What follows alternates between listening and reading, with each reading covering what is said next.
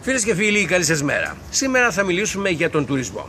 Είναι η βαριά βιομηχανία μας. Όμως, και θα το αρχίσω από την αρχή, έτσι, όμως, όταν εγώ, εσείς, εμείς οι Έλληνες, πάμε για διακοπές μια εβδομάδα, 10 μέρες, 15 μέρες, παραπάνω δεν υπάρχει περίπτωση, μας βαράνε, σε εισαγωγικά η λέξη. Πληρώνουμε τα σπασμένα όλων των ημερών, των άλλων. Έρχεται όμως ο ξένος τουρίστας με λιγότερα χρήματα από αυτά που δίνουμε εμείς και περνάει μια χαρά, χωρίς αυτό να είναι μορφή για κανέναν ξένο τουρίστα, για 20 και πλέον ημέρες. Τι σημαίνει αυτό; Σημαίνει ότι έχουν δώσει τα δωμάτια από πριν, έχουν πάρει τα χρήματα νωρίτερα και κάνουν κάποιες δουλειές οι άνθρωποι αυτοί που έχουν τα ξενοδοχεία. Μέχρι εδώ σωστά και καλά.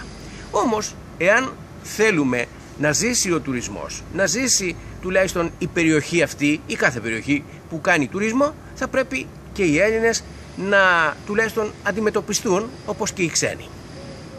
Όχι ο Έλληνας άντε θα του τα πάρουμε, ο Έλληνας καλοτρώει, γεμάτο το τραπέζι και από αυτό και από εκείνο και από το άλλο και στο τέλος θα αφήνει. Ο ξένος μια σαλάτα στα τρία. Ναι ή όχι. Έτσι δεν είναι.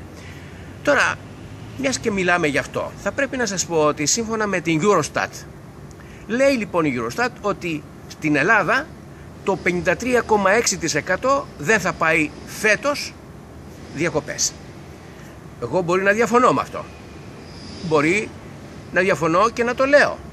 Και γιατί, διότι ε, αν πάρεις σήμερα για 15 Αύγουστο δεν θα βρεις πουθενά δωμάτιο, ούτε κρεβάτι στα αστέρια.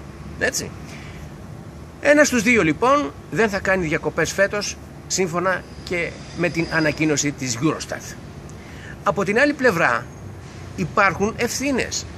Υπάρχουν ονοματεπώνυμα που φέρανε τον κόσμο, τον Έλληνα σε αυτήν την κατάσταση.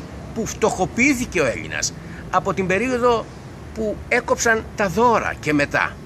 Έτσι λοιπόν ο Έλληνας τούτη τη στιγμή κοιτάζει τι θα φάει σήμερα, όχι αύριο, σήμερα και λέει διακοπές, άσε, βλέπουμε, του χρόνου.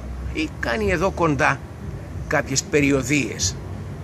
Φίλες και φίλοι, εκείνος που έχει σοβαρή ευθύνη για όλα αυτά είναι ο Αλέξης Τσίπρας. Καλή σας μέρα.